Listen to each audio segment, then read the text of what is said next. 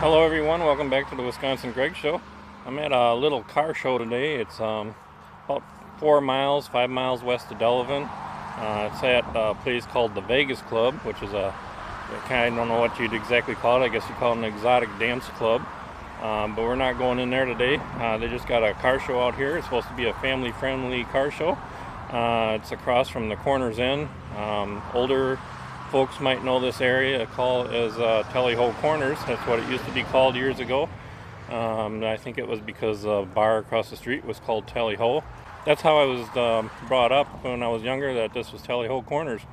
So anyways, I'm going to go walk around and uh, since it's such a small car show, there's another one in Delavan. I might connect the two together and uh, make one video out of that. We'll see uh, if I do make it to that one. So uh, maybe it'll be two little small car shows put together. So anyways, we're going to go take a look and see what we got.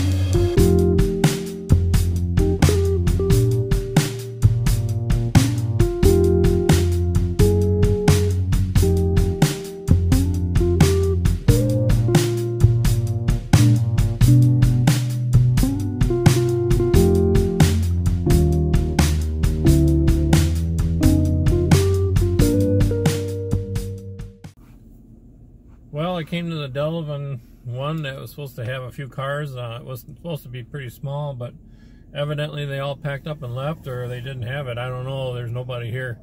Uh, so that's going to be the end of this car show video. So thanks for watching, everyone. Have a great day. Bye now.